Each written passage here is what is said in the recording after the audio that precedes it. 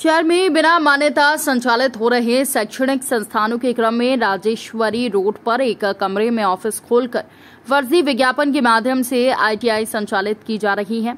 इस आईटीआई के संचालन के संबंध में प्रशासन व मंत्री को शिकायत दर्ज कर मामले में कार्यवाही की मांग की गई है।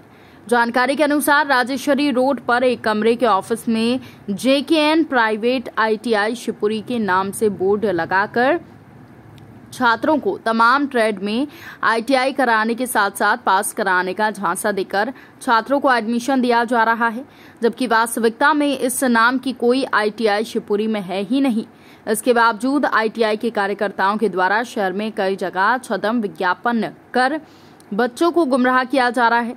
शहर में लगे फ्लैक्स बैनरों का उल्लेख है कि एडमिशन पर निशुल्क बुक और bag uniform I card notes आदि की सुविधा पूर्णता वाईफाई कैंपस और तमाम सुविधाएँ यहाँ पर मिलेंगी, जबकि ये आईटीआई सिर्फ़ एक कमरे में संचालित है। इस आईटीआई को लेकर शहर के अन्य संचालकों ने मंत्री यशोधरा राजे, कौशल विकास केंद्र, भोपाल कलेक्टर शिवपुरी को शिकायत दर्ज कराई है कि आईटीआई न केवल छात्रों को गुमराह कर रही है, बल्कि उनके भविष्य के साथ खिलवाड़ किया जा रहा है।